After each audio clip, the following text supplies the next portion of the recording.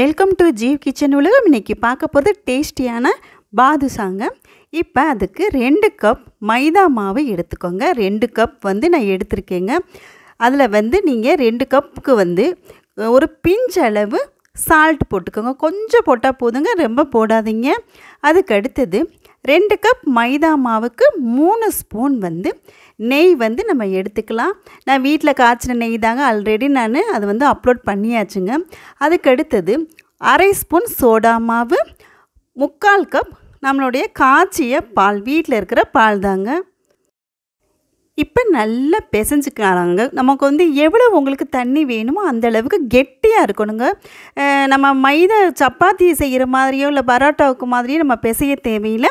அஞ்சு நிமிஷம் நீங்கள் வந்து அதை அழகாக பிசைஞ்சு வச்சுக்கோங்க. கொஞ்சம் ஆயில் விட்டுக்கோங்க. ஏன்னா மூணு ஸ்பூன் நெய் விட்டுருக்கோம். அதனால நீங்கள் கொஞ்சம் ஆயில் விட்டுக்கிட்டால் போதும். அதை வந்து ஊற வைக்கணும்னு அவசியம் இல்லை நம்ம வந்து ஒரு ஃபைவ் மினிட்ஸ் நீங்கள் அதை பிசைஞ்சு இதை மாதிரி லேயர் தெரியணுங்க. ரொம்ப வந்து சாஃப்டாக பிசையணும்னு இந்த பாதுஷாவுக்கு தேவையில்லைங்க. இப்போ வந்து உருண்டை பிடிச்சிக்கலாம். ரொம்ப வடையாட்ட தட்ட வேணாங்க. இதே மாதிரி கொஞ்சம் இது ரவுண்டாக இது பண்ணி நடுவில் வந்து ஒரு ஓட்டை பண்ணி நம்ம எல்லா பீசஸையும் நம்ம வந்து ரெடியாக ஒரு பிளேட்டில் வந்து வச்சுக்கலாம்.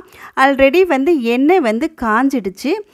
அந்த எண் மு முடிஞ்ச வரைக்கும் நீங்கள் எப்போவுமே இரும்பு வடக்கலை யூஸ் பண்ணுங்கள் அப்போ வந்து பொ நம்ம செய்கிற பொருள் வந்து எல்லாமே வந்து கெடவே கெடாது. நல்லா இருக்கும்.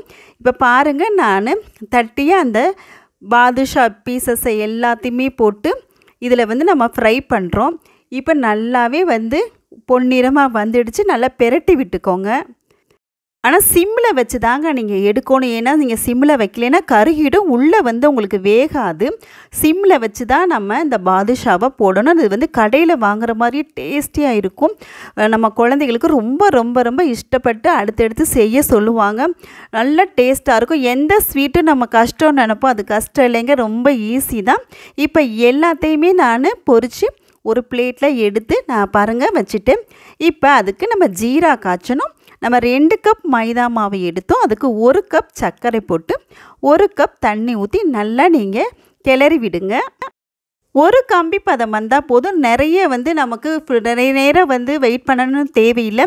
இப்போ குங்குமப்பூ இருந்தால் ஒரு பிஞ்ச் அளவு போடுங்க. இல்லைன்னா பரவாயில்ல. கேசரி கலர் ஒரு துளி போட்டுக்கலாம். இப்போ மூணு ஏலக்காவை பிச்சு நான் போட்டுட்டேன். நல்லா கிளறிக்கங்க. ஒரு கம்பி பதம் வந்தால் போதும். முடிஞ்ச வரைக்கும் ஒரு அஞ்சு நிமிஷம் நீங்கள் சிம்மில் வச்சிங்கன்னா போதும். ரொம்ப ஸ்பீடாகவும் வைக்க தேவையில்லை. ஒரே ஒரு கம்பி பதம் வர வரைக்கும் நீங்கள் வெயிட் பண்ணிவிட்டு அதை நம்ம எடுத்துடலாம். இப்போ ஒரு துளி நம்ம லெமன் ஜூஸை வந்து புழிஞ்சு விட்டுக்கலாம். நிறைய புழிஞ்சிடாதீங்க.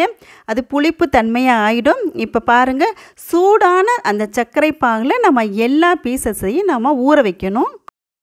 எப்படி அரை மணி நேரம் ஆகுங்க? நல்லா ஊறுறதுக்கு.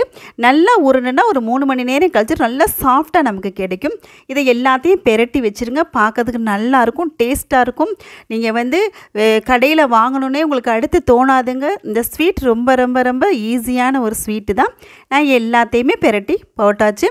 நீங்கள் அரை மணி நேரம் அல்லது ஒரு மணி நேரம் கழித்து சாப்பிட்டிங்கன்னா நல்லா டேஸ்ட்டாக இருக்கும்.